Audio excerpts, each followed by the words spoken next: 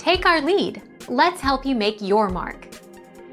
Our goal is your satisfaction. Let us show you the way.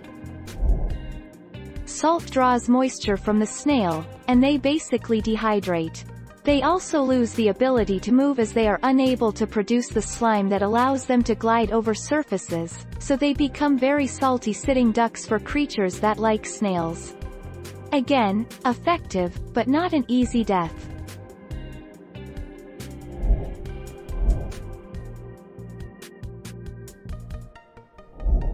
Make your mark. Take our lead. A spray bottle filled with plain white vinegar is a great cure for slugs that aren't on plants. It should kill lots of slugs, and keep skeeters away for a good two weeks. It might even repel larger pests, like rabbits and deer.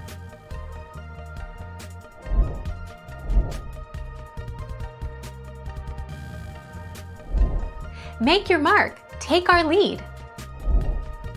Gritty substances will cut the body of the snail, which will lead to it being injured. Crushed eggshells, sand or diatomaceous earth sprinkled around plants that the garden snails seem to prefer will deter and eventually kill these pests.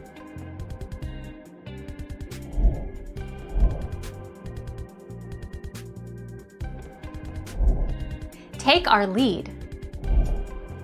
An equally cruel method is to pour hot or boiling water over the collected slugs. Supposedly, this is another, humane, way of killing them, but hot water is an excruciating death for slugs. Some people freeze slugs and snails to death. Thank you for watching. Please subscribe and hit the bell notification.